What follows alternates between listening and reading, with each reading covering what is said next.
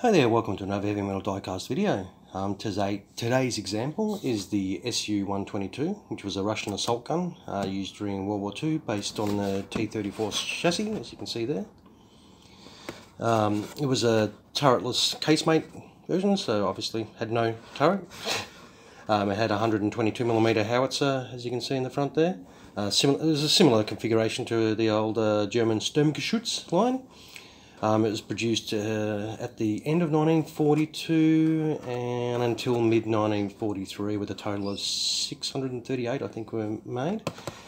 Um, the old uh, SU 122 proved a little bit effective in its direct fire role, but uh, was soon to be found to be replaced by the ISU 122, also the SU 152, and the ISU 152 as well. So, um, very few of these survived the, the actual war.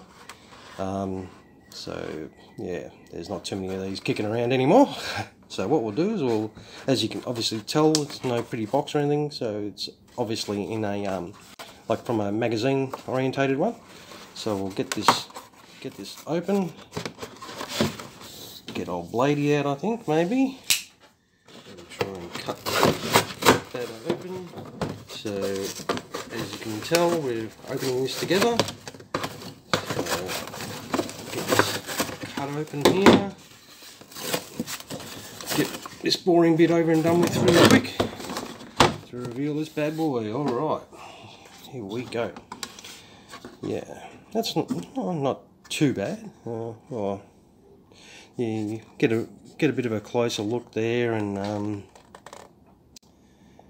you can sort of see the that's it's, it's, it's die cast here, but with the plastic accessories, um, they seem to be a slightly different colour. I'm not sure if it comes through the camera very well. Um, I mean, the detail on it is, is, is really nice. If we can sort of, you know, show the engine deck. Um, it's got some nice sort of dirty, rusty effect on the exhaust ports. Um, some spare tracks. It's got some nice Russian writing on there on the side. Some um, the tracks are you know, pliable. Does I'm not sure if they move. It's hard to tell because um, as you can see, it's got those screws on the base that keep them in, in place. But um, I mean, the, the, the build itself is quite good, but that that color difference is a little bit annoying. Um,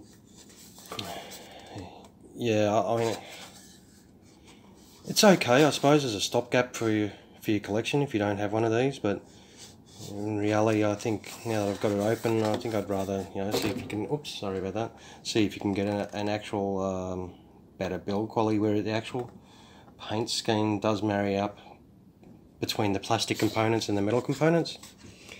Um, the howitzer does elevate up and down, it's got quite, quite a large elevation. Um, apart from that, there's no real, there's some equipment storage on the side, um, but uh, yeah, apart from that, it's pretty basic. But obviously, the, the main body section of this is all die-cast, which is good. It's got a reasonable weight to it.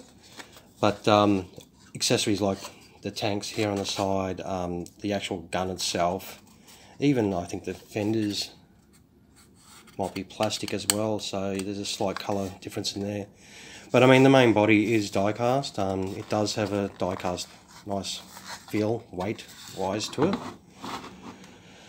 Um, yeah, look, I paid, um, I think it was $45, including the postage from overseas and GST and everything like that. That's $45 Australian.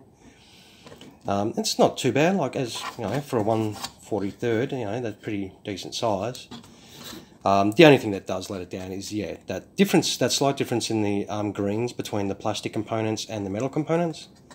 Um, if that was um, a little bit closer, it probably, you know, then you could turn around and say, yeah, this is pretty cool.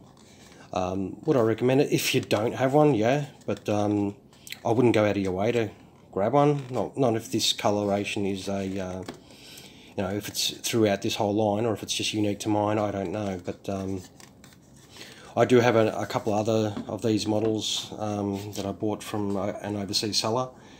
Um, so it'll be interesting to see if all the other, because of the similar style, so it'll be interesting to see if they're all uh, very similar between the metal and plastic components, if there is such a, a large coloration difference. Yeah, but anyway, well, there you have it. It's 143rd scale SU-122 Russian assault gun from World War II. Um, I'd recommend it if you want a reasonably cheap option to fill a gap that you don't have. Uh, I don't know how many, you know, 143rd scale of these are around to bolster your collection, but I mean, if it comes down to it, you could always touch up or blend in the plastic components to match the die cast finish. Um, these days it's pretty, I suppose, reasonably easy to get a paint good paint match and get them coloured up. I'm not sure how easy these are to take apart if you decide to do that. But uh, yeah. Anyway, uh, as per usual, you know, I'll uh, chuck up some uh, close-up stills without my uh, sausage fingers in the way. Um, and uh, yeah, so if this video was helpful in any way, give us a little like. And um, stay tuned to after this video to check out the close-up photos. And once again, thank you very much for taking time to watch and enjoy the rest of your day. Cheers.